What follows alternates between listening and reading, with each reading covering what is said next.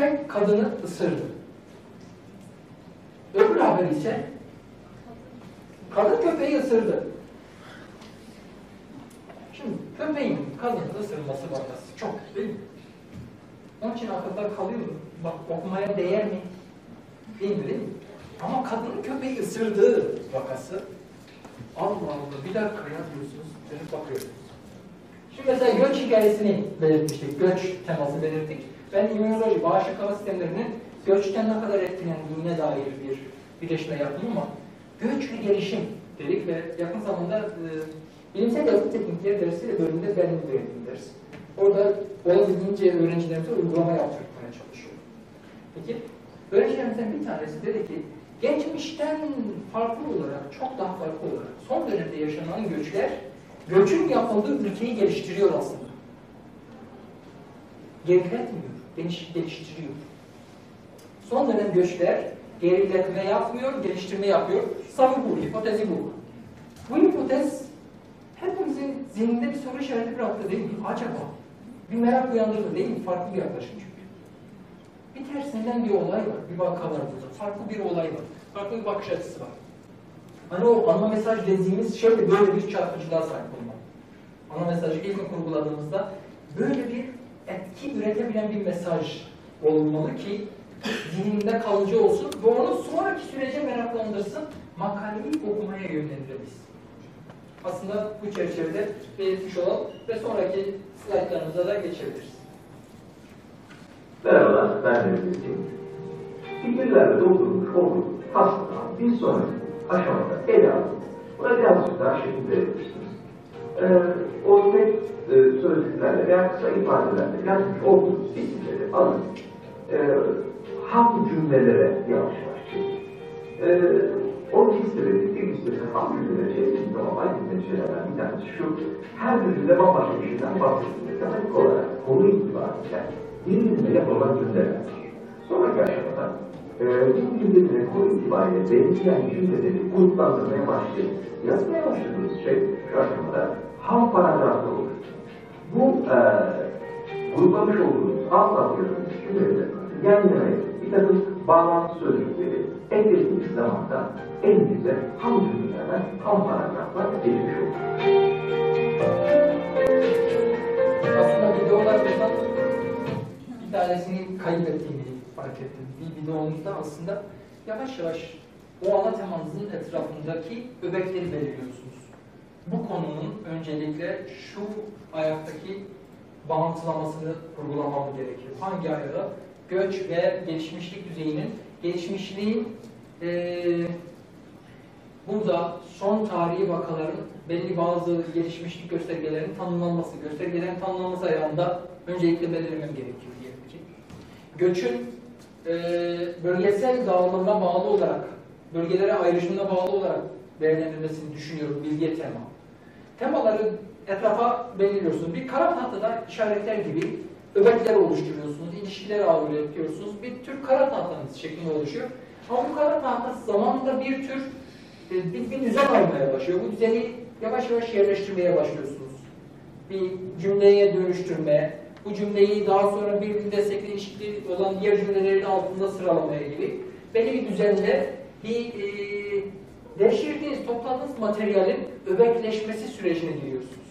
Burada e, Cem hocamızın belirttiği de nihayetinde o ana mesajın etrafında oluşan fikirlerinizi bir yerde her zaman bir not almak ve sürekli kayda almak. Hiçbir cümle yazmadan, herhangi bir cümle kurmadan ilk başta o notları kabaca bir yere not almanız. Aklınızdan geçen her şey olabilir. Kabaca not alıyorsunuz. Sonra aklınızdan geçen her türlü bu fikirleri, bu kalabalık şeyi oturup yorumlayıp birer cümleye dönüştürüp paragraf başlangıç cümleleri şeklinde bir tasarım noktasına gittiğimiz bir süreç bu. Tabii diyebiliriz ki böyle bir yaklaşım sadece sosyal bilimcilere özgü olabilir mi? Ne dersiniz? Böyle bir soru işareti olabilir mi? Sosyal bilimciler böyle bir makale tasarımı yapabilir mi? Bir fen laboratuvar ortamında mühendislik projesinde böyle bir şey yapılabilir mi sizce? Böyle bir yaklaşım.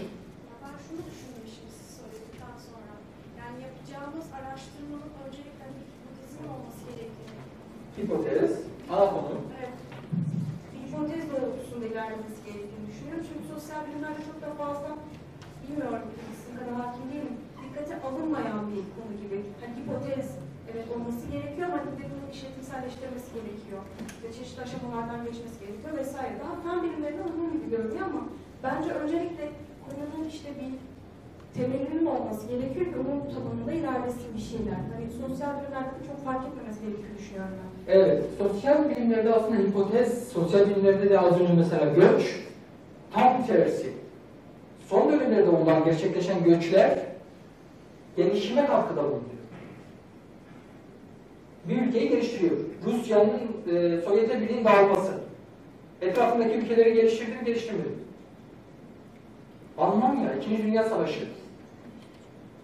Almanya'nın İkinci Dünya Savaşı- Savaşı'nın sırasında yaşadıklarıyla bize gelen bütün o akademisyenlerin aslında baktığınızda üniversitelerimizin kurucuları olması, İstanbul Üniversitesi'nin kurucuları aslında şu anki ekol olarak hep Alman. Bir yerde işaret evet aslında güçlü bir savun gibi görünüyor. Oturduğu yerler var diyoruz. Rusya'dan göçenlerin üniversitelerimize yerleşmesi, geliştirmesi burada. Rus teknolojisi çok ilginç. Mesela Rus malı kavramı gelmişti. Hatırlarsınız. Yani Rus malının da bir şeyi vardı. Ekonomik bir dönüşüme katkısı bile oldu. Ama nihayetinde bütün bunlar bir, bir hipotezle başlıyor. Laboratuvarda da, fende de aynı hipotezle aslında başlıyorsunuz. Ve burada o kara tahtanız çalıştıkça ortaya çıkan bilgi parçacıkları. İşte şu iki molekülü bir reaksiyona tabi tutun, şu sonuç çıktı ortaya. Kabaca yazınız. Bu sonuç aslında şu potansiyel uygulama sahalarına yönelik kullanılabilir. Boyacılık sektöründe kullanılabilir. Kimya, petrokimyada kullanılabilir gibi ilişkilendirmeler yapıyorum. Kabaca çiziyorum hepsini. Sonra da bu kaba ve dağınık olan tahtanın hepsini yavaş yavaş bir düzene oturtmaya başlıyorum. Aslında Cem Hocam'ın az önceki slaytta belirttiği buydu. Önceki kayıt slaytlarda belirtilecek şey konu bu olduğundan dolayı yani ana fikrimizden sonra çalıştıkça, kafayı, e, zihnimize gelen o bilgileri toparladıkça oluşan bir süreç, bir evrimleşme süreci şeklinde de belirtmiştik. Sonraki slaytımıza geçelim. Yani fikrimizi belirledik, yavaş yavaş yavaş yavaş oluşuyor. Yazılımda işleyeceğiniz sohbet mesajı seçti. Sonra e, yapmanızı tavsiye bir şey e, yazınızı e, göndereceğiniz dergiyle. E, bu bu kadar erken bir e, aşamada e, tavsiye etmemiz gerek şu. E, yazılı bir ürün olarak düşünün. Dergiyle bir program olarak düşünün. E, hiçbir şey mesela e, tasarlamış olduğu ürünü e, pazarlayacağı, satacağı pazarı e, teşhis etmeden o pazarın gerekliliklerini tam olarak o ürünü üretmeye geçmez. Bizim genelde böyle dünyada yaptığımız e, bunu tersi. Yani önce ürünü üretiyoruz tamamen ciddi miktarda e, yatırım yapıyoruz buna. Ondan sonra da acaba ürün e, bir yerde satılabilir? Yani benim makaleyi yayınlayacak bir dergi var mı yok mu? Hangi dergi yayınlanabilir ben bunu diye çevreye bakıyorum. Ee, çok fazla yatırım yaptıktan sonra e, İngilizce edilmiş oluyor burası. Nereye gidecek bir e, dergi yoksa bir makale değil mi? E, dolayısıyla önceden ilk aşamalarda e, en başlarda e, o tek mesajımızı yayınlama ihtimali yüksek olan e, bir dergiyi e, teşhis etmemiz tavsiye. Böyle erken aşamada dergiyi seçme, önceden dergiyi seçme, dergili pazarı önceden belirleme gibi bir şey yapıyor muyuz? Yoksa evet gerçekten makalenizi yazdıktan sonra da nerede yayınlasam acaba diye mi bakıyoruz? Cem hocamızın dediği genelde öyle yaptığımız Türkiye'de. Doğru mudur? Hocalarımızdan da belki biraz biliriz. Biraz alanla da ilgili olabiliyor aslında. Mesela biz mimarlık ana e, Evet. hani alanında çok kısıtlı. Ee, çok çok kısıtlı çünkü bizim gönderebileceğimiz adres o kadar az ki. O yüzden biz mesela farklı alanlardaki dergilerde de kendimize yer bulmak zorunda kalıyoruz. Mesela atıyorum bir aydınlatma ve renk çalışırken fizik dergisine göndermek zorunda kalabiliyoruz. Aslında sizin daha önceden birazcık bahsettiğiniz bu e, doğru dergi seçimi, hani hangi platformda yayınlayacaksınız, Evet. kendinizi göstereceksiniz. Hani o platformlar yeterli değil maalesef bizim alanımızda. Ee, Böyle olmaya başlayınca bizim belki daha önceden bakma e, durumumuz daha kritik olabiliyor. Yani bunu yapacağım ama uygun bir platform var mı? Belki birazcık da oradaki çalışmalara aslında refer etmek bizim orada yayın yapma şansımızı arttıracak diye. Ama çok alan varsa belki evet her zaman önceden ayağımızı yorganına göre uzatmak hani Evet. doğru olacaktır ama bence birazcık alanla da ilgili bir şey. Yani bilmiyorum bir matematik alanında falan çalışanların bu kadar endişesi var mı bizim taşıdığımız Çok. endişe kadar? En, en isabetli aslında örneklerini verdiniz. Tespiti en zor olan mimarlık. Ve en az sayıda makalelerin olduğu bir grup gerçekten. Ama bunda da ayrı da var. Veyahut da sizi işleyen, evet o diğer belirttiğiniz fizik mesela çok ilginç, alakasız gibi görünüyor ama aydınlatma ile ilgili fizik dergisinde çık- yapabiliyorsunuz. Onun tasarımı ile ilgili olarak çıkarabilir, bir şekilde ilişkilerinde bulunabiliyor. Burada da kritik olan husus şu. Nihayetinde bir veri setimizi oluşturduk değil mi? Az önce Wireless Sensor Network konusunu işledik. Wireless Sensor Network konusuna hitap eden en çok yayın üreten dergilerin çağrısını yapacağız. O dergilerin listesine bakacağız. Benim için en ideal dergi kim? Aslında kendimizi yayınlamak için bir dergi seçerken bizi okuyacak kitleyi de analiz ediyoruz. Benim makalemi hangi kitleye hedefliyor? Dolayısıyla hak edişimi olan bu etkiyi hangi kitleden edinebilir? Etki üretimini hedeflediğiniz kitleyi görüyorsunuz, tespit ediyorsunuz ve yavaş yavaş o kitlenin içine dahil olarak aslında onların bir okuma kültürünü, bilimi tüketme kültürünü, üretilen bilimin tüketme kültürünü de görüyorsunuz. Ona bağlı olarak aslında makale tasarımınızı daha doğru bir yere, daha doğru bir dil ve yapılandırmayla sunabiliyorsunuz. Yani burada makaleyi pazarlayacağınız pazar yerini önceden tespit etmek aslında önünüzü açan bir husus. Ben de bu konuda Cem Hoca'ya kesinlikle katılıyorum. Yani sonradan çok eliniz ortada kalıyorsunuz ve çok sıkıntılar yaşayabiliyorsunuz. Önceden bu tespiti sadece doğru dergiye yayınlatmak bakımından değil, sizi okuyacak, sizin bilimsel etki üretiminizi karşılayacak e, materyali de, e, daha doğrusu kitleyi de e, anlayabilmeniz için çok yardımcı. Gelin bunun için peki mimarlıkla ilgili dergileri nasıl seçeceğim? Veyahut da Wireless Sensor Network konusundaki dergilerin nasıl analitiğini yapabilirim? Bana en çok yardımcı olacak. Hatta o değil, yapamadım maalesef şu an bir makale var elimde. Ve bilmiyorum daha önce hiç bakmamıştım dergilere. Beni en iyi yayınlayacak hangi dergiler var? Bana en çok yardımcı olacak hangi dergiler var şeklinde en noktada nasıl dergi seçimi yapılır? Üç ayakta göstermeye çalıştım. Şimdi JCR, John Citation Reports. Dergilerin 125 bilim dalında sınıflandıran dergilerin tabir yerinde ise tam bir röntgenini çeken, hatta aslında röntgen yok vücut tomografisini çeken bir sistem. Burada bir dergiye ait yaklaşık 20-30 tane kadar farklı gösterge var. Ama bu göstergelerin her biri farklı eee, bir eee, amaç için kullanılan bir nitelik gösteriyor bize. Burada select kategori seçeneğiyle dergilerimizi burada yaklaşık 11 bin kadar dergi var. Eee architecture olarak tarayalım değil mi? Hadi bakalım. Acaba geldi mi? Arki diye kalalım. Silelim tekstürü. Doğru mu? Ölçümünü hızlı Evet, Arki Kategoriden değil, eee Journal of eee, Search Journals, Architecture. Eee hmm, Heritage. Architecture diye bir kategori yok mu? Ben e, dergi seçimde. Evet. Architecture. Ee, Web of Science şema, Web of Science seçtim aşağıya. Evet, demek ki yok. Yok? Tam olarak onu diyorduk. Yani şimdi birkaç yok tane... Yok? Yok yok var. Var, Var. var. Architecture isminde geçen ama onların da alt başlıkları oluyor. Yani onlar da kendi içinde sınırlamalar yapıyor mesela. Hani yer bulmak iyice böyle zorlaşmaya Bizde bir iki başlıyor. tane dergi kalıyor mesela böyle bir şey düşünün. Bizde diğer Vallahi alanlarda yani şansımızı arıyoruz. Bir tek bir ifade var, kaderi küsmek lazım. Yani bir şekilde bulunuyor. Dergi yayıncılara başlayalım. Ya burada o kadar katılım varsa aslında çok. Var, var. Gerçekten. Architecture hiç bilim dalı olarak gelmedi bile. Bunu tekrar. Onu bilim dalından seçtik mi? Kategori şema Web of Science. Evet. Ee, Aslında bu kadar Var kötü değil değil mi? durum. var. Vallahi Var da bu kadar kötü. kötü değil. Var ama hani onlar da çok snob olabiliyorlar maalesef. Kendi alt başlıkları oluyor falan. Dizayn deyince ama çok farklı bir bebek tasarımı bile giriyor. Engineering design de girebiliyor. Onda çok şey oluyor böyle bir. Yok.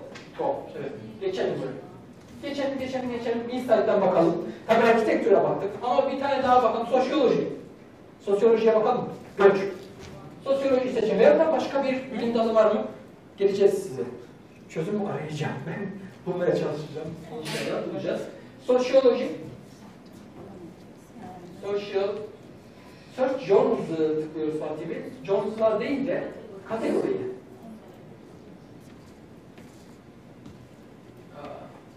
Bence Emrah Belli iktisat onu seçelim. Gerek var. Ekonomik. Tabii ekonomikse bakalım. Sus. E, bakalım. Hangi? Ne dersiniz? Sosyoloji seçelim. Ekonomik. Ekonomik seçelim. Vazgeçmişiz tamam. Search. Search. E, submit. Evet. Ah. Şimdi burada vergilere dair ne gibi göstergeler var? Bu göstergeleri seçelim. Customize Indicators modülü. Hangi göstergeleri dahil edelim? Total size her şey dahil, normalize eigen faktörü de dahil edelim. Eigen faktör nedir? Size atıf veren kitlenin ne kadar kaliteli bir atıf olduğu, kitle olduğu. Yani Science, Nature gibi dergilerden mi atıf alıyorsunuz? Kalibre dergilerden mi atıf alıyorsunuz? Daha az kalibre dergilerden mi atıf alıyorsunuz gibi. Safe. Ee, ve göstergelere bakalım. Dağ yoluna çıktınız.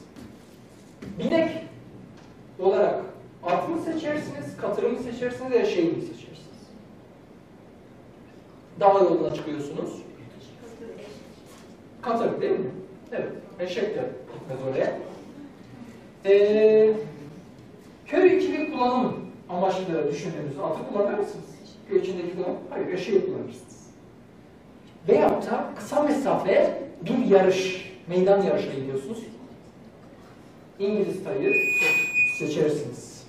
Kısa mesafede çok hızlı koşacak. Dergi de aynen böyledir. Diyelim ki doçentsiniz, profesörlük dosyası için size acilen atıf lazım, citation toplamanız lazım.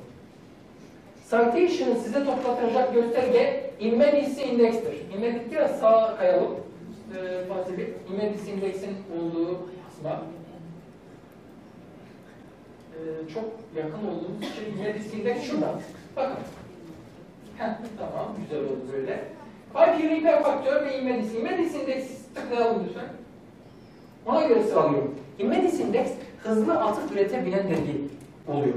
Yani iktisat alanında en hızlı atıf üretecek dergi hangisi? Bana o lazım. ASEAN Economic Policy Review. Immediacy Index göstergesinin olduğu kısma çıkalım. Evet, 5. Çok hızlı atıf üretiyor. 5 yıl etki faktöre bakın. Zayıf. Bundan da korkuyorum ama.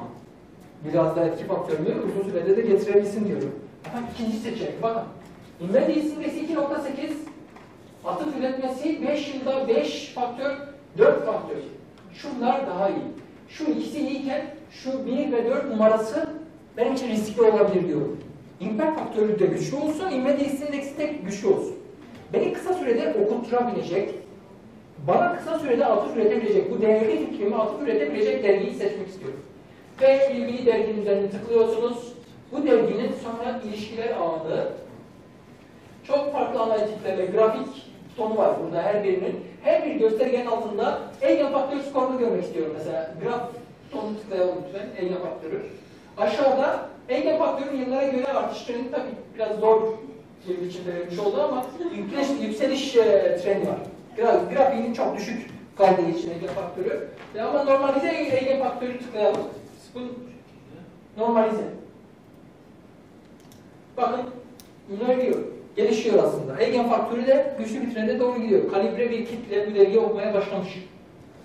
Ee, şurada bu, bu göstergelerin hepsini dergiye dair citable items article, e, art, e, article influence score. Şuna bakalım. Tıklayalım lütfen. Graf tonu itibariyle. Buradaki gösterge bir diğer veriyi daha da veriyor. Bu dergide yayınlanan makalelerin yüzde kaçı atıfla birlikte, atıf alırlıkla birlikte yayınlanır? Yani şöyle basitleştirmiş olayım. Bir dergi var, 10 makale atıf üretirken 90 makale atıfsız kalmış. Diğer bir dergi var, 90 makale atıf üretirken 10 makale atıf almamış vaziyette. Aslında ikisi de infak faktörü olarak aynılar. Yani 10 tane çok atıf üretmiş, aynı atıf sayısını çıkarmış. Burada ise 90 tane çok atıf üretmiş ve aynı atıf sayısına ulaşmış. Hangisi daha istikrarlıdır? İstikrar göstergesi bakımından.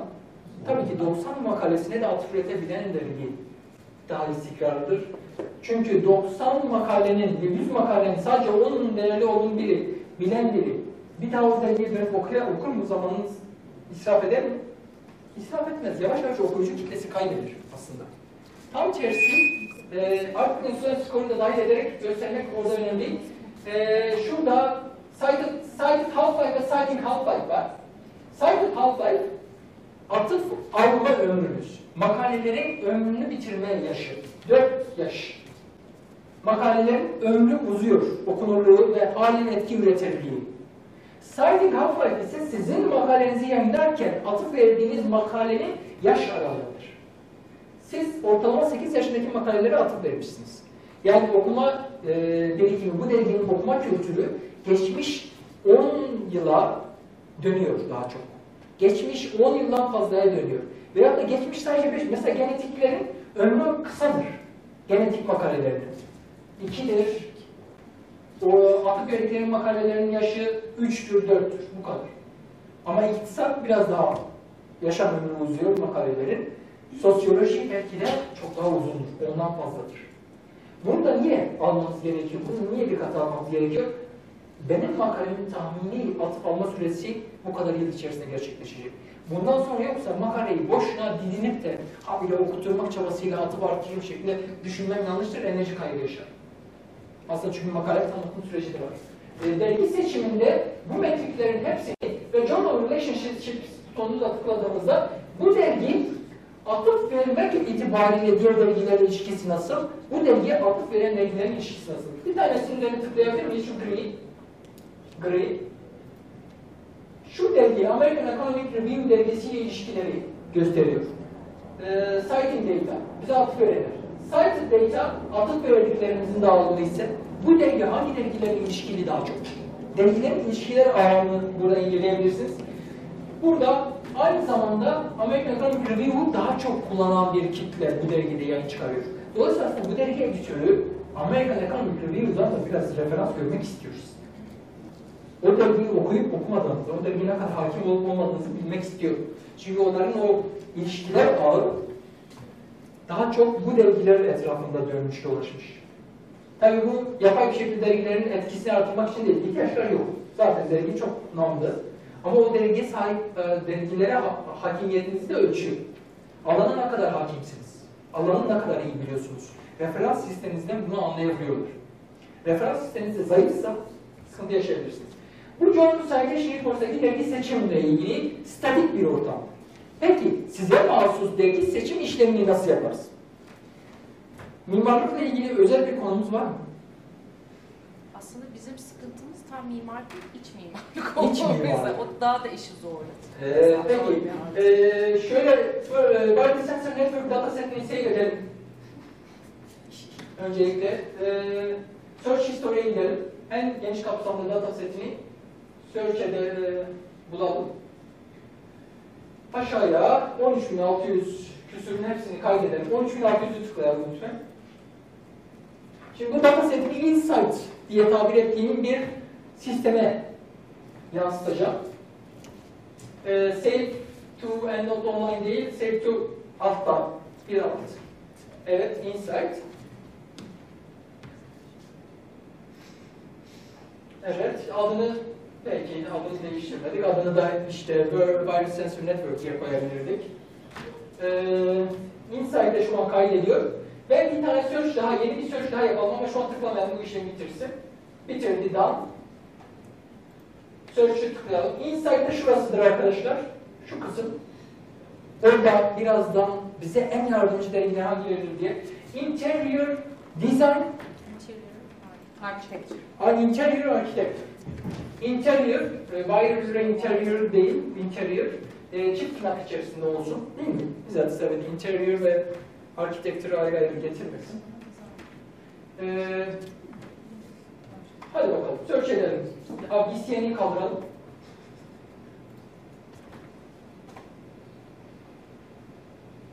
Hmm. 223. Çok az aslında. Ama demek ki bu konuya mahsus. Tamam. 223'ü de save edelim. Insight'a. Insight. Evet. Bunu architect, ARC diye de kaydedebiliriz. İnterior, tamam. Evet. Save. Bunu da kaydedelim. Şimdi burada yaptığımız şey aslında hemen Insight'a gidip bu datasetimizi şimdi kaydedeceğiz. Insight'a tıklayalım. Öncelikle sizin için bakalım. Bu 223 makaleyi sunan hangi dergiler olduğuna çok ve bu dergilerin diğer göstergeli Medis indeksini, impact faktörünü falan da karşılaştıracak şekilde.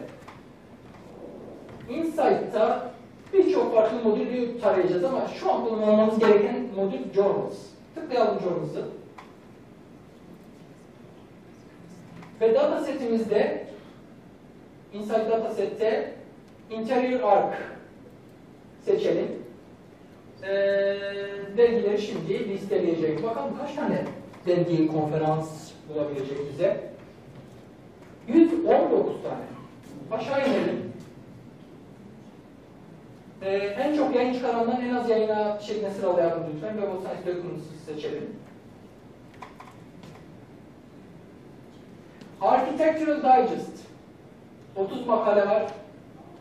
Atıf almışlığı biraz düşük.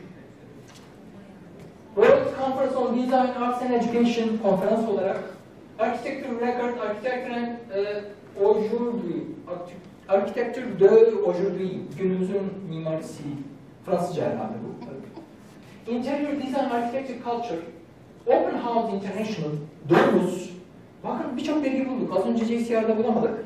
Peki bu dergilere dair diğer göstergeleri de çağıralım.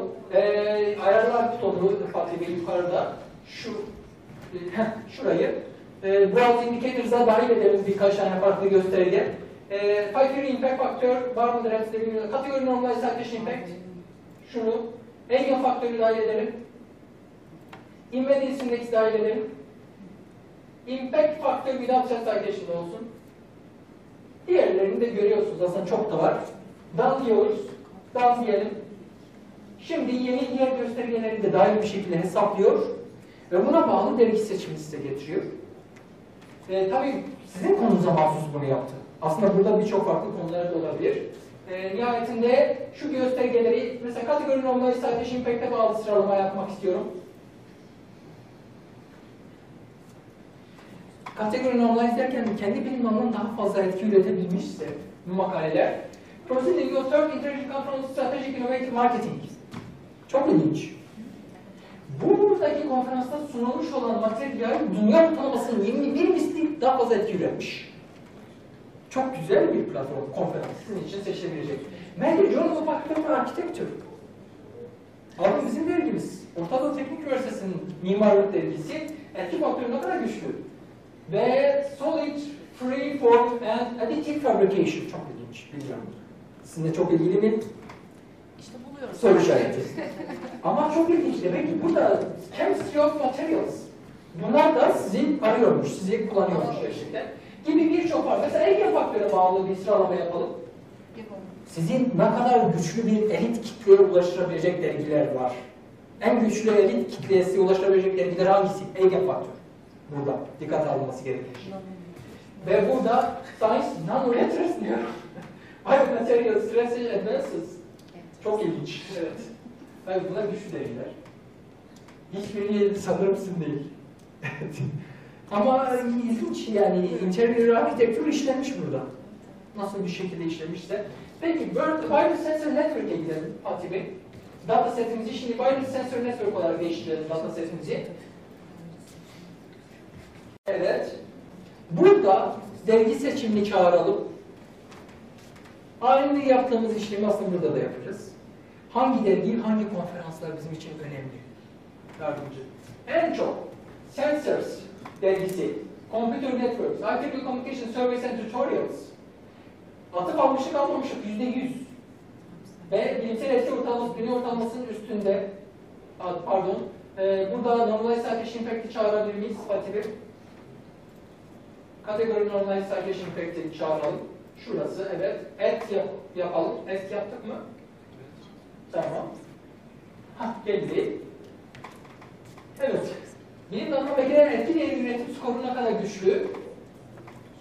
Hangi dergi, hangi matı? Web of Science Documents şeklinde kalalım. O documents sırala, Web of Science Documents şeklinde sıralamayla kalalım. Kategori normalized'ı en çok yayın çıkarıp en çok da etki üreten şeklinde skorladığımızda 3 numaralı dergi en çok öne çıkan ama aslında Ad hoc Networks 102 makaleyle 1.74 yani hem etki üreten hem de çok makale kabul eden bu konuyla ilgili. Dergileri aslında beni kabul etmeye en çok şansı yüksek olan dergilerin analizini yaparak çağırmış oldum. Bu kritiktir hani tespit etmek bakımından hangi dergi. Ve son olarak ben makalemi sonradan çıkardım ve daha dergi seçiminde yapmadım. Bir makalem var. Bir tane kaydı Web Science'da bir makalenin abstract kaydına girelim. EndNote'da Match diye bir seçenek, bir seçenek var. Burada EndNote size diyor ki makale başlığınızda ve abstractınızda geçen kelimeleri aynı oranda içeren, aynı oranda materyali yayınlayan şu dergiler öne çıkıyor diye bir analiz yapıyor size ve size dergi önermesi yapıyor. Bir e, title'ı seçelim. Bloklayalım. Title'ı. Ctrl C.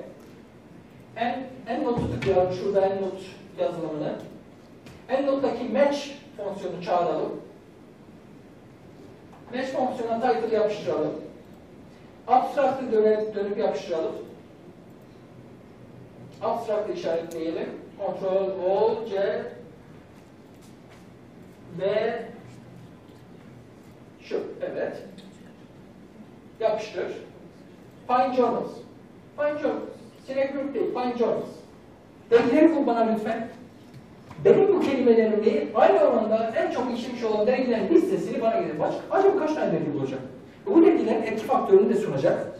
Ayrıca, bakın, Education Scientific Disciplines. Kuartile 4'te, Kuartile 3'te, başlangıç düzeyinde Engineering Multidisciplinary daha öne çıkıyor. Daha aşağı inelim. International Journal of Engineering Education en başta öneriyor. Sonra ise önerdiği dergilerin dağılımı bu. Computer Science, Human Behavior, 5 yıllık etki faktörü, son e, tek yıllık etki faktörü itibariyle Besson, New Media and Society. Tamam makale sayısının daha az ilişkili olabilir ama nihayetinde bunların hepsi benim için faydalı dergiler deyip size dergi önermesini sistem yapıyor. Sizin makalenizi kabul edebilecek dergiler. Ve burada hani Burfenia dergisi gördük ya orada replika web siteleri falan dedik. Orijinal web sitesinde bilen bir sayfa var. Submit article butonu var yukarıda. Yukarı çıkalım. Ee, submit, e, ha, submit. Journal Information'a submit. Submit'i tıkladığınızda derginin orijinal sayfasına gidersiniz. O replika, o riskli sayfasında uzak kalırsınız. Bu da sizin güvenceli bir şekilde ilerlemenize yardımcı olur değil. Diğer videolara geçelim. Eğer sorunuz yoksa bu biraz yoğunca bir sistem kullanılıyordu. Sorunuz var mıydı burada? Yoksa Cem Hoca'nın diğer videolara geçebiliriz. Merhabalar, ben de Zeki. E, makalemizin tasarım sürecinde sonunda aşamalarında da gibi şeyler var. E, makalemiz uzunluğuna dair gerekiyor. Eğer önceden bir istediğinizde bu çok kolay tabii. Yani zaten dergiler işte 15 sayfa olsun, şu kadar bölüm olsun, burası gibisinden e, yapımsızlar koyuyorlar. Eğer dergimizin de önceden bir istediğiniz 30 sayfa yazı yaptığınızda dergimiz e, 15 sayfalık yazı yazısında bir problemimiz var. Ee, diğer bir karar vermemiz gereken e, termin tarihleri. Yani e, makalenin hangi aşamasını ne zaman bitirmiş olacak veya da nihayetinde makaleyi ne zaman bitirmiş Bu tür e, termin tarihleri, bu tür son teslim tarihleri beklenen e, makale yazma, yazı yazma e, sürecini ilerletmek çok güç. Son bir şeyde e, makalesini tasarlarken karar vermemiz gereken yazı veya yazarların e, tabii ki yani çok iyi yazı yazarlardan e, birisi olacak ama makale e, denen şey malum bir araştırmanın ürünü. O araştırma içerisinde yer alan başka insanlar da olabilir. O insanların da e, yazar olarak makalede belirtilmesi gerekir. E, bu da tabii e, takım sorunları beraberinde bir şey. Yani yazarların isimlerinin e, sırası ne olacak vesaire vesaire gibi bu tür e, meselelerinde e, bir sonuca ulaşılması gerekiyor. E, yazıyı yazmaya önce. Evet. Makalenin sayfa sayısı gibi birçok kriterle detaylı şeyler başlar. Kaç? Genelde dergiler maksimum yazabileceğiniz kelime sayısını söylerler. Minimum söylemezler. Değil mi? Ama çok ilginçtir. Genelde de biz çok metin yazmaya yöneliriz. Habire uzun metinler, uzun metinler, uzun içerikler. Hayır. Ne kadar özlüysek, ne kadar silsek aslında o kadar yardımcıdır. Ve bu çerçevede e, maksimum kelime sayısına dikkat etmemiz lazım. Termin tarihleri, nihayetinde başvuru tarihleriniz ve o deadline takvimi dikkat almamız lazım. Bir kritik husus daha. İşbirliği demiştik malumunuz. İşbirliğindeki zafiyetlerimiz. İşbirliğini güçlendirmemiz. Ortak yazarlar bulmanız. Projemize ortak yazarlar, ortak kişiler, işbirliği proje düzeyinde daha sonra yazarlık düzeyine de yansıyacak bir işbirliği olacağından dolayı kişilerin analizini yapmamız lazım. Kimlerle işbirliği yapmalıyız? Bu projemizde hangi ülkeleri dahil etmeliyiz? Bu ülkelerden hangi kurumlar öne çıkıyor? Bu kurumlardan kime davette bulunmamız lazım? Kimi kazanmamız lazım? Ki işbirliğimizi kalibre bir işbirliği olarak üretelim. Doğru kişileri seçmek açısından. Bu işbirliğinin analizini az önce Wireless Sensor Network makalemizi, datasetimizi koyduk. Biliyoruz. Ve orada Insights'ın yine menüsüne gidelim Erman Bey. Analytics. Burada bakın şuradaki tabloda gördüğümüz ülkelerin analizi, kurumların analizi, kişilerin analizi. Kişiler butonunu tıkladığımızda Wireless e, Insight sistemi tam 1980'den günümüze data setine sahip ve 34 milyon akademisyenin incelemesini yapabiliyor. Dünyadan, bütün dünyadan 34 milyon akademisyenin incelemesini yapabiliyor. Birbirinden farklı akademisyenler. Hatta 35.753 olmuş.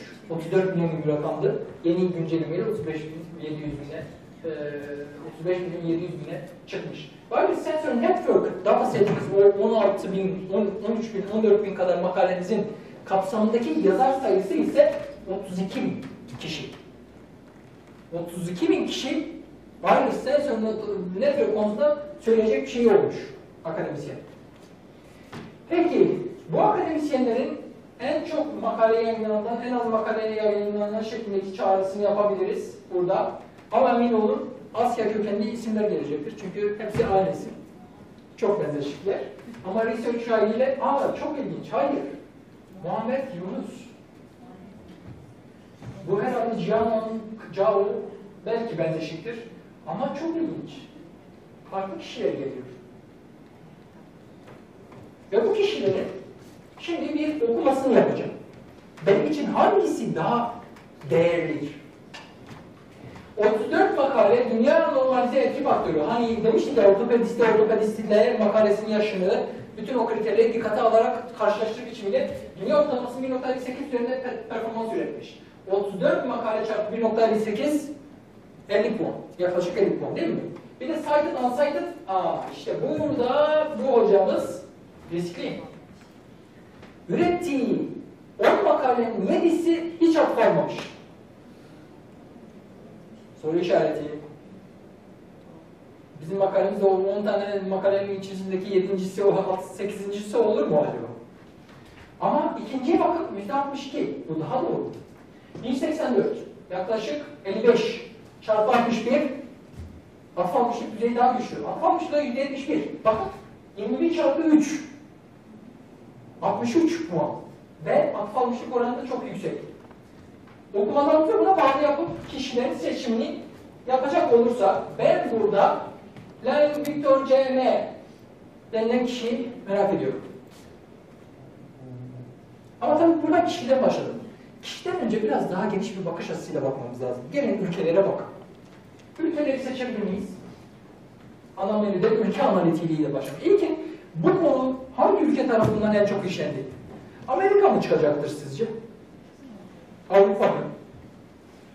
Elektrik elektronik mühendisliği, mühendislik hocamızdan bir görüş alalım. Bu konu sizce Benim alanım değil, endüstri mühendisi olarak hadi bir tahmininiz. Bu konu daha çok hangi ülkede işleniyor? Ben uzak doğuda. Uzak Doğu.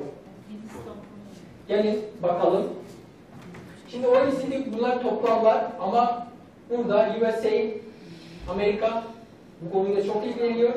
Akabinde China, Çin. Ve en çok yayından en az yayından sıralayalım Erman Bey lütfen. Çin yayın hacminde daha fazla çıkacak. Çin yayın hacminde Çin mainland 3200 yayın bu konuda yayın çıkarmış. 0.75 etki üretmiş dünya ortalamasını. Akabinde Hindistan geliyor. Amerika'dan da daha iyi Hindistan. Ve 1668 0.87 Çin'den daha iyi etki üretiyor. Döküman sayısı daha az. Amerika ise etki üretimi dünyanın iki misli. Sonraki South Kore'ye, Güney Kore biraz daha aşağı inebilir miyiz Erman Bey? Hangi ülke etki faktörü İtalya, Kanada, Fransa, eee şurada Tayvan, İspanya, 2-0 Avustralya. Çok ilginç. Bu şekilde. Ama Hindistan ve Çin'i merak ediyorum. Hindistan ve Çin'deki bu kendi ülke avarajlarının üstünde duran bazı kurumlar var mı? Hindistan'ı seçelim. Ya Çin'i pardon, Çin'i seçelim eee Erman Bey. Ve Collaborative Organization değil, e, bir seçin lütfen. E, people, e, associated, people, associated Organization seçin. Yani Çinli kurumların listesini çağırıp bu makalelerin içerisinde hangi kurum ne kadar üretti, ne kadar etki üretti şeklindeki dağılımının bir ön incelemesi en çok dokümandan en az dokümana şeklinde dağılımını çağıralım. Yani Çin'deki herkes kötü yapmamış. O 0.75 herkese ait değil. Çin'de çok daha güçlü olarak yayınlanan, yayınlayan bir kurum var. Zhejiang Üniversitesi 71 makale üretmiş ve 1.74 oranında da etki üretimi yapmış. Dolayısıyla ben partnerimi şu üniversiteden bulmaya çalışsam ne olur? Zhejiang Üniversitesi. Hemen burayı kapatalım Erman Bey. Zhejiang Üniversitesi'nden kim? China Mainland Preview'dan Refocus'a seçelim. Refocus. Şimdi kurumların listesini getirecek. Zhejiang'ın içerisinde affiliate kişilerin listesini çağıracağım. Zhejiang'dan evet tıklayalım. Affiliated people, yani bizzat burada çalışan kişilerin listesini, göstergesini çağır bana lütfen diyorum. Ve en çok yayın yapandan en az yayın yaptığı şeklindeki dağılımını çağırıyorum. 10 makaleyle dünya etki ortalaması 3 misli, 7 makaleyle Chen Zhengming 10 makale. 10 makale üzerine tıklayalım. Makaleler listesini çağırıyorum. Son makalesini çağıracağım. E-mailini bulacağım. Mailimi yazacağım. İşbirliğine çağır. Hemen. Çin'de işbirliği yapacağım. Bakın 2016'da çıkarmış olduğu bir makale. Çin'deki bu kişinin yapmış olduğu bir makale. Tıkladık mı? Ah, evet. Evet aşağı inelim. Bakın e-mailler. Hepsinin e-maili. Kendi yazarımızın e-mailini bulup kendisine hemen iyi ben bir fikrim var, bir projem var, proje taslağım var, siz de dahil olmak ister misiniz diye çağrıda bulduk. Paydaşlarını bu şekilde topluyor. Çin, Hindistan, Amerika, Avustralya. Avustralya'da kütleti olarak çok güçlü. Bir eee sanırım kapat, evet. Diğer videolara geçebiliriz Bey. Soru var mıydı? Az önceki yaptığım işlemle ilgili. Merhabalar, ben Lütfi. Makalemizin tasarımı bittikten sonra nihayet e, oturup yazmaya başlıyoruz. Ee, ilk üç çevresinde başlıyoruz. Bunun ilk adımı bir taslak oluşturmak. Taslakla kastımız nedir? Ve e, bir tek mesajdan bahsetmiştik makalemizin e, işlemesi gereken. Bu e, tek mesaj öyle oturup bir şey değil. E, siz o mesaj geldiği zaman onun mantıksal ölçülerinin ne olduğunu biliyorsunuz. Yani işte A'dan dolayı B'den dolayı C, C'den dolayı da ilk mesajın e, bir silsile e, sizin aklınızda var. E, bu e, mantıksal ölçüler e, yazınızın e, bölüm başlıklarını, alt bölümlerin başlıklarını teşkil. E, bunları alt alta yazarak böyle bir şablon, makalenin için bir şablon oluşturmanız gerekir. E, sonraki aşamada, yani taslak oluşturduğumuz e, oturumdan sonraki aşamada bu e, taslağın içini bir takım fikirlerle oluşturması edilir. Bunu böyle bir e, beyin fırtınası e, aşamasında, beyin fırtınası etkinliği çerçevesinde yapmanızı tavsiye ediyorum. E, yapmanız gereken aklınıza gelen, yani bir e, bölüm başlığı veya alt, baş- alt bölüm başlığı ilgili aklınıza gelen fikirleri e, olabildiğince e, kağıda aktarın. E, bu fikirlerin e, yani yüzde yüz tutarlı olması şart değil, tamamen oluşmuş olması şart değil, e, bölümün e, şeyle tamamen bağlantılı olması şart değil. Şu aşamada herhangi bir deneme yapmadan dedi, yazmaya çalışıyor. E, önemli bir nokta şu, fikirleri yazarken cümle yazmaktan kaçınmış olabildiğince Tabii e, eski bir doğru aklınıza gelen ediyorum aslında. e, tek sözcükle tarihte veyahut da kısa ifadede tarihte yazmanız şu aşamada yeterli. Kayıt video diye belirttiğim aslında buymuş. Onu fark etmiş oldum. Sırasını kaydetmişiz. Sonrakilere devam edelim. Evet. Merhabalar, ben Cem Yazınızı oturup yazmaya başlamadan önce e, onu tasarlamanız gerekiyor. Bunu da geçelim. Bunu ilk başta e,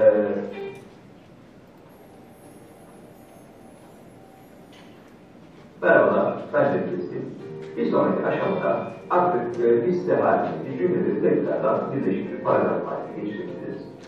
E, bunu yaparken araya geçiş sözcükleri veya geçişimleri Cümleleri Evet, çok böyle paragrafı geçiş geçiş veya paragraf Ben paragrafların nerede durması gerektiğine verdim. Elimizde bir bölüm baş altına dizilmiş muhtelif paragraflar var. Bu paragraflardan hangisi o bölümün e, mesajını en iyi ifade ediyorsa o paragrafı hemen bölüm başlığının altına koymak gerekiyor. Ondan sonra iyi paragrafları da uygun bir sırayla o ilk paragrafın altına dizmeniz gerekiyor. Aslında burada paragrafta en önemli e, üst mesajlarını içeren paragrafı üste almak diye belirtti ama bir de paragrafın cümle diziminde kritik bir husus var. Akademide ya da makale yazımında mesajınızı sondan vermek gibi bir kültür yoktur. Nihai araştırmanızın bulgusunu ilkin belirtmeniz gerekir. Yani romanındaki katil öyle filmin sonunda ortaya çıkmıyor. Katil önceden anons edilir. Akademik yazımlarda bu gerekliliktir.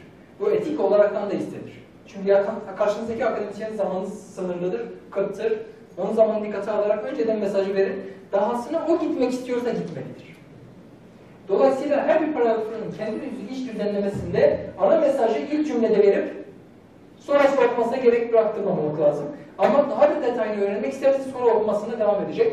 Paragrafların kendi içerisindeki o yazı bölümlendirme, hani IMRAP diye tabir ettiğimiz Introduction, Method, Result, Discussion and e, e, Results gibi e, o bölümlendirme e, düzenlemesinde de paragraflarınızın düzeninde ana temaya odaklanan paragrafın önce verilmesi, sonra diğer detay paragrafların da bunu takip etmesi şeklindeki hiyerarşik bir düzen olmalı. Bu hiyerarşik düzen mesaj önce prensibiyle yapılmalı. Yani tespit özellikle önce belirtilir, daha sonra detaylar verilir şeklindeki bir yaklaşım. Evet. Merhabalar, ben Cem. Ee, yazınızı ham cümlelerden, e, ham paragraflardan oluşan bir müsvedde hale getirdikten sonra e, yapmanız gereken bir sonraki şey, iyi bu önemli bir şey, yazınızı bir kenara koyun. Yani bir mola ver. Ee, bu e, bir kuluçka evresi ve önemli bir evre.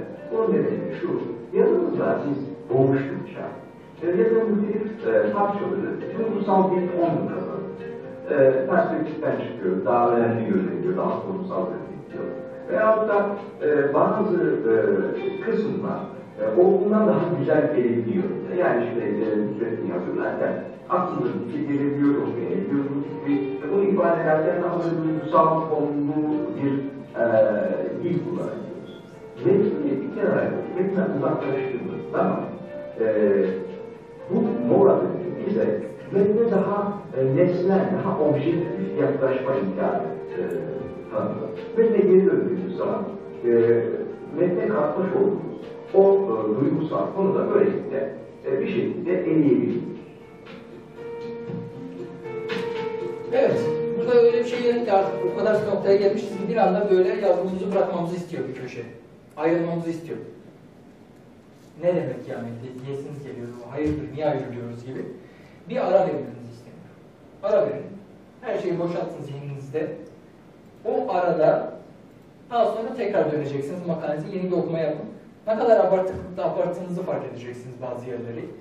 Bazı yerlerdeki kopuklukları tespit edeceksiniz. Aslında sıcakken hissetmiyoruz çünkü. Sıcakken o metin tam olarak duygusal bir ilişki kurduğumuz için metinliğe o boyutta dışarıdan bir bakış açısına dair bir e, yaklaşım üretemiyoruz. Bunun için o yazımızdaki abartılı, fazla metinleri falan tespit edemem gibi sıkıntılar yaşayabiliriz. Ee, buna mani olmak için bir ara verin diyor. Ama peki bu arada hiçbir şey yapmayacak mıyız? Aslında arada makalelerinizin o veri yoğun makale olması gerektiğini dikkate alarak makalemizi veri itibariyle ne kadar zenginleştirebiliriz? Çalışmamızı data itibariyle ne kadar zenginleştirebiliriz? Tıpçılarımız artık makale başvurusunda bulunuyorlar. Makaleleri yaklaşık tek bir trial, trial bilir misiniz bilmiyorum ama klinik trialları yaklaşık 120 kadar hasta üzerine bir uygulama uygulanır ve bu uygulama ne kadar başarılı olur ya da bir ilaç uygulanır, bu ilacın ne kadar başarılı olduğunu incelemesi yapılır. Bunun incelemesini yapıp bir makale dönüştürülür ve başvurulur. Tek bir klinik trial'ın izahatıyla makale başvuruları hep red alıyor artık. Meta analiz isteniyor. Daha önce sizin bu trial'ınıza benzer bu kategorideki çalışmalar da bir yerde depolanmış, meta analizler üretilmiş. Yani 100 kadar aynı konudaki klinik trial'ın bir araya getirmesi de sizin uygulamanızın ne gibi farklılık getirdiği veyahut da ne gibi bir benzeşme üretebildiği, önceki uygulamalarla göre ne kadar başarılı olduğunu da karşılaştırmasını istiyorlar. Meta analiz istiyorlar. Yani daha önceki yapılmış olan klinik trial'larla karşılaştırma yapmanızı istiyorlar. Peki bu klinik trial'ların datalarına nasıl ulaşabilir? Hemen orada internete, Google'a girin, clinical trials diye bir search edin. Ve o kadar çok kurumsal data arşivi bulursunuz ki Avrupa Birliği'nin bütün klinik trial'ların birleştirildiği bir database var. Açık. Hepimize. Anında o trial'ların sizin konuda ilgili olanların hepsini indirebiliyorsunuz. İstatistik analiz yazılımınıza yükleyebiliyorsunuz. O yazılımıza bağlı olarak kendi yaptığınız trial'ın da onunla karşılaştırmasını yapabiliyorsunuz. Ya da İktisat, işletme, sosyoloji, OECD istatistikleri. OECD'nin bütün veri istatistikleri, bütün ülkelere dair. Biliyorsunuz OECD sadece iktisat değil, finans değil. Sosyal gelişimin her türlü ayağının istatistiklerini alır. Ve bütün ulusal istatistik ofisleri veriyi oraya toplarlar. Devasa bir kütüphanedir. OECD'nin o istatistik veri havuzuna girdiğinizde o kadar muazzam veri bulabilirsiniz ki. Yani aslında veri artık her yerde fışkırıyor. Her yerde muazzam bir şekilde var. Bu verileri artık işlemlememiz lazım. Makalemizi zenginleştirmemiz lazım. Tabi bu verilerin hangi yöntemle işlemlendiği falan bu sizin sahanıza mahsustur. O sahanın o yöntem yetkinliğini ortaya koymanız, hocalarınızla danışmanız, hocalarınızla birlikte geliştirmenize bağlıdır. Şimdi bir tane örnek görelim. Gapminder.com var. E, Gapminder.com ilginç bir sistem. Burada OECD'nin istatistiklerinden faydalanıyorlar. Şuradaki iki düzen var. Dikey düzlemimiz life expectancy. Yaşam ömür düzeyindeki artış istatistiği. Sağ tarafta ise income per person. Yani gelir düzeyindeki artışın yaşam düzeyindeki artışı da, yaşam uzunluğundaki artışı da etkileyip etkilemediğini incelemesini yapıyorum. Ve buradaki grafiklerde bir diğer değişken daha da var. Şuradaki baloncuğun büyümesi nüfus sayısının artışını gösteriyor. Şuradaki tablomuz yıllara göre trend grafiğini veriyor, yıllara göre hareketliliği veriyor. Sağ tarafta ülkeleri gösteriyor. Lütfen ülkelerden Türkiye'yi, Güney Afrika'yı ve Çin'i seçelim. China, Turkey, South Africa, South, e, evet ve Türkiye. Türkiye. Bakın South Africa, China, Türkiye'yi seçmiş oldum. Burada logaritmik datamızı değiştirebiliriz. Şurayı mesela seçin şuradaki e, mabel lineer değil. Ha şu onu seçin lütfen. Enerji başlığını tıklayalım. Alt başlıkları göreceksiniz. Alt başlıkların alt başlıklarını göreceksiniz. Yani veri bir yazılımda toplanıyor burada. Ve bu yazılımı ben değiştirebilirim. Anında bu yanındaki, bu yanındaki ve şuradaki gösterim biçimlerini ilgili e, şuradaki hücrelerin büyüyüp az- azalışını da farklı göstergeye tabi tutarak inceleyebiliyorum. Ve diyorum ki play. Play butonunuzu lütfen tıklayın. Yıllara göre hareketliliği eski yıllara geçelim. Ee, şuradaki yıl e, kutucuğunu seçip bin- 1900'den başlatıyorum. Çok fazla zaman kaybettim. 1920'de olabilir. Evet, play. Buyurun. Bu yazılım 2007'ye kadar Gapminder yazılımı açık olduğu bir yazılım. 2007 yılında bir haber aldık. Hop Google satın aldı. Google satın aldı ama bir baktık ki daha sonra hani karabataklar sürengeler ya bir süre kaybolurlar. Sonra büyük bir yerden çıkıverir. Gap, e, Google Charts'ta bu fonksiyon çıktı. Kendi verinizi bu animasyonu da kullanacak şekilde internette anında makalenize gömecek veya da gösterecek şekilde gömebiliyorsunuz çeşitli fonksiyonlar. Tabii Çin burada bloke etti bizi ama e, şu Güney Afrika ve Türkiye'nin ayrışımını karşılaştırmak ve birçok farklı değeri gömebilmek bakımından artık Google Charts'tır ve birçok farklı veri görselleştirme yazılımları size yardımcı. Yani grafiğimizi ve verimizi zenginleştirmemiz. Yani o kuluçka döneminde ben bu makalenin veri zengini bir makaleye nasıl dönüştürebilirim şeklinde böyle araçlara yönelmemiz lazım. Bu araçların içerisinde işte OECD örneğini verdim. Ee, Data Citation Index diye bir veri tabanı var. Veri havuzlarının citation indexini veriyor. Atıf ilişkisiyle birlikte veri havuzlarına ve veri havuzlarıyla birlikte aslında muazzam bir e, bilgi zenginliğini üretecek imkanların hepsi elimizin altında. Makalenizde artık bazı durumlarda ham verinizi de paylaşmak bir etik sorumluluk olarak addedilir. Onun için makalenize bir link belirtirsiniz. O link tıklandığında ham verinize ulaşılır. Kurumsal arşiv. Atılım Üniversitesi'nin açık kurumsal arşivi var. Burada mesela kaydedebilirsiniz ham verilerinizi. Burada e, kaydedip, burada saklayıp, buraya bir link vermiş olursunuz. Ve o belgeye de atıf verildiğinde aslında sizin makalenize atıf verilir. Verilerinize atıf verilir. Deyip e, son slaytlarımıza, son videolarımıza geçiş yapalım. Artık makalemizin son yay biçiminin oluşturulması. Merhaba, ben Can Keskin. Doların bitiminde, e, yani kuluçka evresi sonunda metne e, gelelim. E, metnimizi yeniden şekillendirmemiz gerekiyor. E, burada o ham paragrafları, olduğumuz ham paragrafları tekrardan şekillendirerek, tekrardan yapılandırarak geçeceğiz. E, bunu yapmanın yolu da o ham paragrafları oluşturan cümleleri tekrar alt alta yazmak. Niye böyle bir şey yapıyoruz? Bu bize e, o cümlelere teker teker odaklanma imkanı. Ee, çünkü alt alta yazdığımız zaman bahsettiğimiz şeyler ise bazı cümlelerin gerekinden fazla uzun olduğu. Genelde böyle bir e, eğilimimiz var. Hemen e, bu uzun cümleleri en azından iki veya üç e, cümleye e, bölmemiz gerekiyor. E, cümleleri e, bunu yaparken olabildiğince düz, geçişli, e, yapı ifadeler halinde e, ayrıca e, içlerinde eğer duygusal olgu sözcükler varsa yani bazı sıfatlar veya zarflar varsa olabildiğince bunları eleyip elinizde bir avuç iyi seçilmiş e, sıfat veya zarf kalsın. Sonrasında çok önemli bir şey yapacağız. E, cümlelerin yerini belirleyeceğiz. E, paragrafın yapısı şöyle olmalı. E, paragrafın ilk cümlesi o paragrafın ana fikrini, manşetini e, ifade eden, taşıyan cümle olmalı. Ondan sonra cümlelerde bu ilk cümleyi e, desteklemeli veya açılmalı. düzen itibariyle. Bir slaytta videoya geçebiliriz.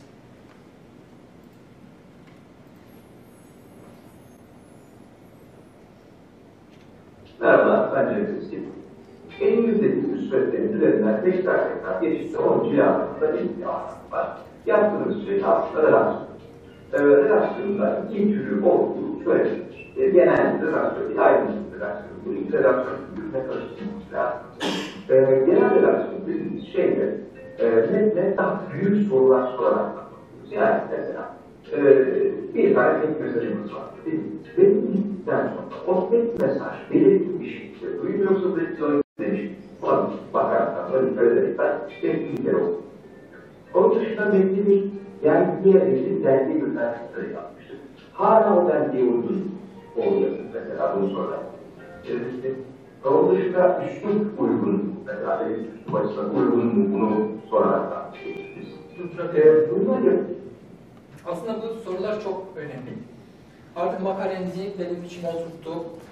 Nihayetinde makalenizi o ve ara verdikten sonraki okumamızda makalelerimizdeki gereksiz cümleleri silmekten korkmayalım.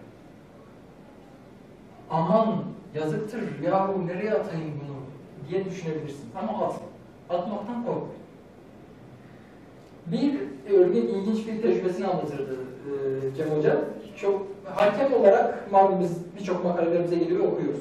Peki bir makale geldi. Okudum okudum okudum. Ben şimdi son kısmında bir sürü cümleler gördüm. Tek başına bağımsız ayrı ayrı cümleler.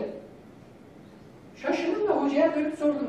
Hocam tamam anladım da burada niye bu cümleler bunu yapar? Hocanın cevabı şu. Vallahi atmaya kıyamadım. Atmaya kıyacaksınız. Sonrasında tekrar okumada neydi? Etki üretecek makaledeki sloganımız, ilk baştaki altın prensibimiz tek bir mesaj. Bu makaleyi okuduktan sonra okuyucunun zihninde kalmasını istediğimiz tek nihai mesaj halen kalabiliyor. O nihai mesajı verebiliyor? Zihinde kalacak tek mesajı verebiliyor muyum? Halen. Ve diğer bir soru işareti halen o başvurmayı planladığım dergiye uygun mu? Makale. Tekrar yeni bir gözle bir tür redaksiyon okuması yapmamız gerekiyor. Vurgulamak için. Devam edelim. Ondan sonra e, daha bir ayrıntılı reaksiyona gideceğiz. Yani işte illa hataları var. Onları düzelt. Noktalama işaretleri kullanımı e, düzgün mü? Buna bak. Cümle uzunlukları nasıl? İşte e, ona tekrardan bak. E, özetle e, bu iki redaksiyon karıştırmak gerekiyor. Her biri oturumda ayrı ayrı e, redaksiyon kalemleri birlikte ben metni gerekiyor. Evet, metnin cilalanması, son nihai cilalanması. Tabii buradaki okumalarda bir usluk da demişti, uslubun tarzına bakalım.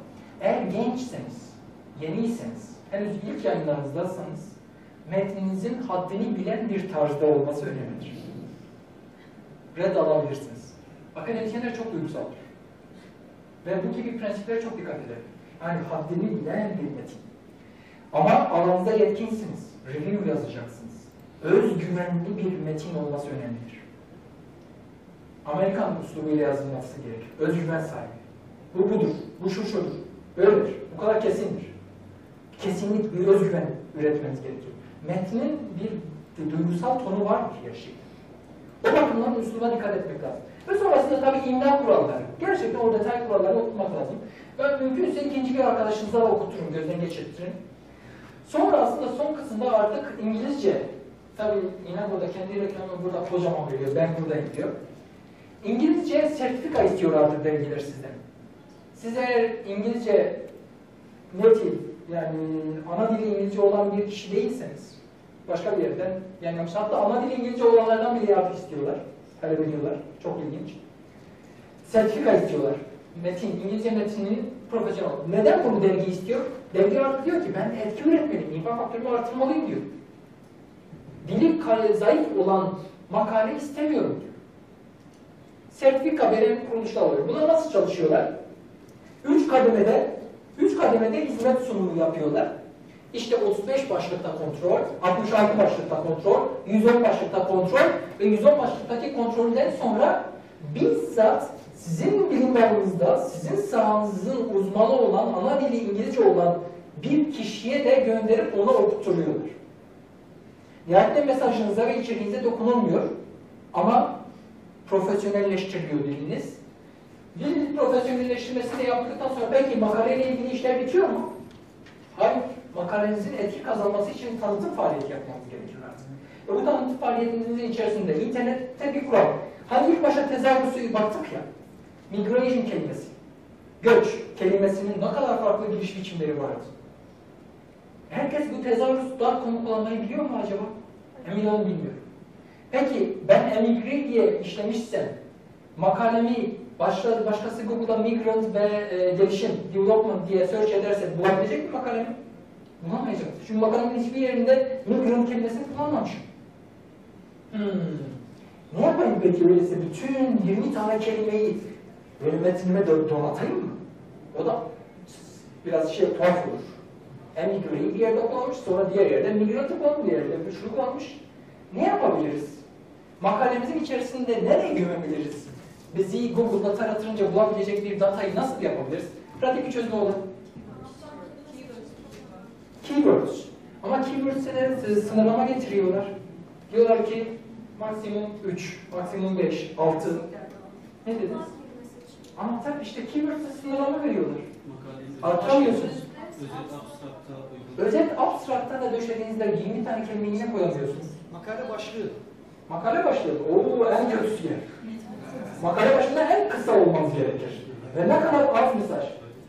Yani migration and development. Bu. Makale başlığı sadece buysa. Migration eh, fosters development. Recent migrations. O yine şu dönemdeki göçler gelişimi güçlendirdi. Ne kadar kısaysa makaleniz o kadar iyidir. O kadar akılda kalıcıdır. Ha, Başlığınız pardon. Hala çözüm arıyorum. Kaynak. Kaynakçada da nasıl belirtebilirsiniz? Hayır, aslında kaynakçaya çok yakın. Dipnot. Evet. Metot kısmında yani belirtirsiniz dipnotta. Literatür araştırması şöyle şöyle yapılmıştır.